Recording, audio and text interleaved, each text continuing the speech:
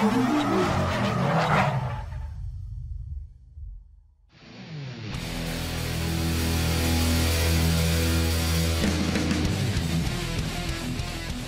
has a lot to do with the Carrera S's new twin-turbocharged 3.0 flat-six. Smooth, snarly, and wildly powerful, this Halliburton case of an engine scoots the 911 to 60 miles per hour in 3.1 seconds. Select Sport or Sport Plus mode, hold the brake with your left foot and floor the accelerator with your right foot, and the engine revs to 6200 RPMs. Release the brake and the car launches with nearly the same surge as the all-wheel drive turbo.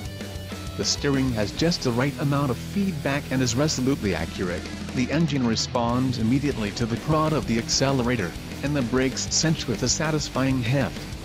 The four-wheel steering keeps the rear stable, and the car takes all that you can reasonably dish out on a public road. There's not much need to slow for corners, but the 20-inch Pirelli P Zeros and the carbon ceramic brakes will stop the 911 from 70 miles per hour in a scant 142 feet. The instrument panel is largely unchanged since this generation's debut as a 2012 model. A notable exception is the new touchscreen that incorporates incredibly useful Google Search and Google Earth functionality into the navigation system.